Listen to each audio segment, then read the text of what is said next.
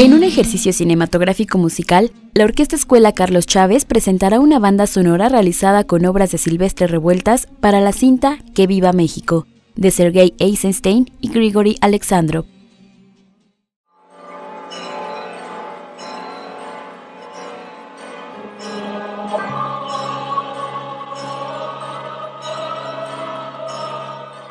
La propuesta realizada por la productora musical Annette Fradera será dirigida por Eduardo García Barrios el próximo sábado 26 de octubre en el Palacio de Bellas Artes. El propósito es presentar una simbiosis estética de dos idearios artísticos importantes para el arte nacional y la visión de lo mexicano. En un comunicado, la Secretaría de Cultura informó que se trata de una conjugación casi orgánica de la narrativa fílmica del cineasta que, sin duda, marcó una influencia en los realizadores de cine mexicano de finales de los años 30 con la música del compositor Silvestre Revueltas.